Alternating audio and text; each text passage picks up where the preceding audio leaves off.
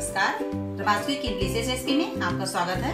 और आज हम बनाएँगे स्टफ्ड तोरी जो खाने में बहुत टेस्टी होती है और इसे बनाना भी बिल्कुल मुश्किल काम नहीं है। प्रभासवी की डिलीशियस रेसिपी को सब्सक्राइब करें और वीडियो की तुरंत नोटिफिकेशन पाने के लिए बेल आइकन को ज़रूर दबाएँ। तो आइए इसे बनाना शुरू करते हैं। इसे बनाने के लिए मैंने लिया है एक किलो तोरी। मैंने तोरी को धो करके अच्छी तरीके से साफ़ करके और रख लिया है। हमें मुलायम तोरी लेना है, बहुत कड़ी ना हो, जिसमें जाल पड़ी होती है, वो तोरी हमें नहीं लेना है। उसकी भरवा तोरी अच्छी नहीं लगेगी और वो मुँह में जाल उसका जो आता है तो खाने में अच्छा नहीं लगता है। तो मैंने एक किलो तोरी लेकर और इसे धो करके रख लिया है। और इसके अंदर डालने के लिए जो मसाले मैंने लिए हैं हम देख लेते हैं। एक चौथाई चम्मच हमने गरम मसाला पाउडर लिया है। एक चौथाई चम्मच हल्दी पाउडर। एक बड़ा चम्मच सौंफ पाउडर मैंने सौंफ को भून करके पीसा है। पाँच बड़े चम्मच हमने सरसों का तेल लिया है। एक चम्मच आमचूर पाउडर, दो चम्मच धनिया पाउडर।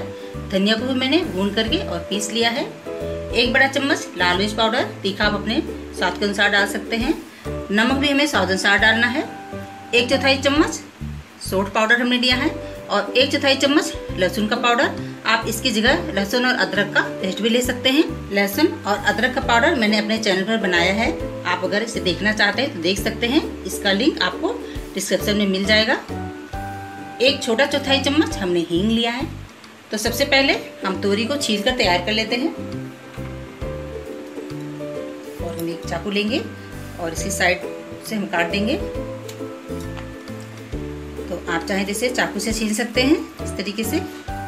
बहुत मोटा हमें नहीं छीलना है, क्योंकि तोरी की भी सब्ज़ी बनती है। तो हल्की सी अगर इसका छिलका रह जाता है तो कोई बात नहीं, खाने में टेस्टी लगता है। आप इसे चाकू से छीलें या फिर इसे इस तरीके से।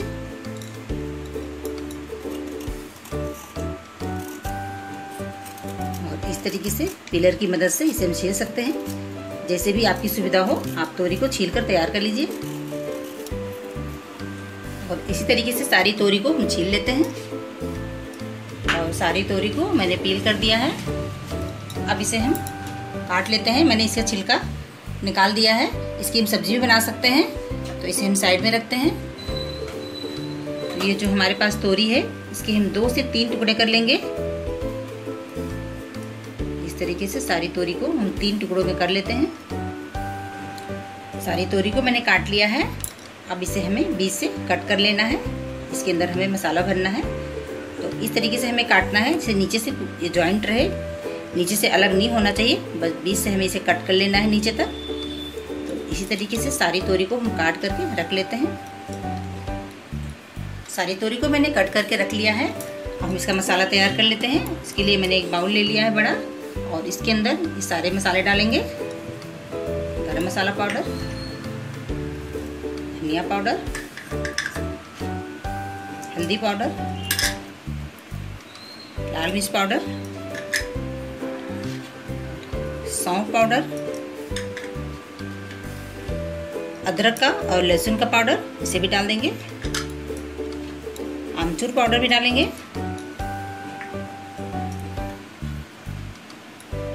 हींग भी डाल देंगे और इसके अंदर नमक डालेंगे। नमक हमें स्वाद अनुसार डालना है। तो एक चम्मच नमक इसके अंदर हम डाल देंगे। और इसके अंदर थोड़ा सा तेल डाल देंगे इसे मिक्स करने के लिए। एक से दो चम्मच तेल इसके अंदर हम डाल देंगे।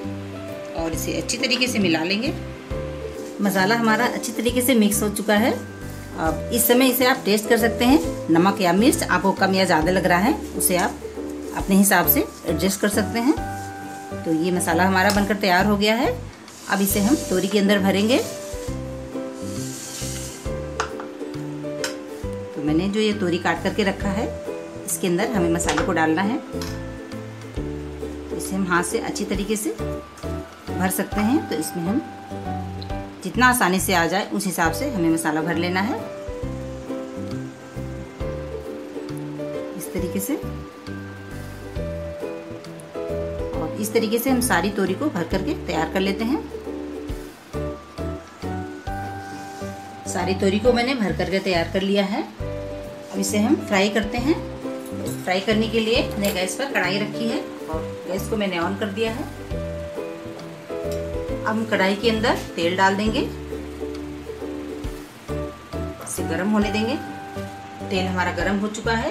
तो हम कढ़ाई के अंदर और तेल के अंदर एक एक तोरी को इस तरीके से लगा देंगे। मैंने तोरी को छोटे टुकड़े में काट लिया है। ये बनाने में भी आसानी रहती है और इसे सर्व करने में भी बहुत आसान रहता है। इस तरीके से हम सारी तोरी को कढ़ाई में लगा देंगे। तरीके से एक लेयर ऊपर भी हम रखेंगे। अब हम इसे पाँच मिनट के लिए ढक देंगे और आज को मीडियम रखेंगे। हम तोरी को चेक कर लेते हैं। पाँच मिनट हो चुके हैं, मैंने इसे भी पलटा नहीं है। तो हम सारी तोरी को पलट देंगे और दूसरी साइड में भी इसे हमें गला लेना है। तो सारी तोरी को हम पलट देते हैं। आप देख सकते हैं, बहुत अच्छी तरीके से तोरी हमारी पक रही है। अब इसे हम फिर से ढक देंगे और दो से तीन मिनट बाद इसे हम फिर से चेक करेंगे और इसे पलट पलट कर अच्छी तरीके से पका लेंगे। तोरी को हम चेक करते हैं और इसे एक बार फिर से मिक्स कर लेंगे।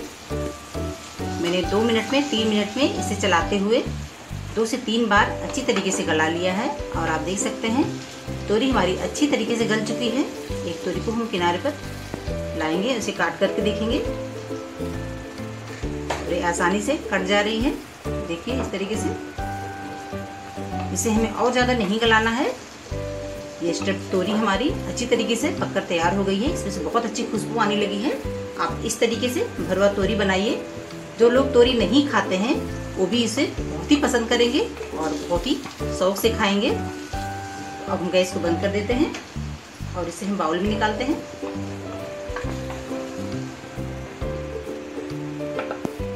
और हमारी स्टफ्ड तोरी बनकर तैयार हो गई है। बहुत ही टेस्टी बनी है।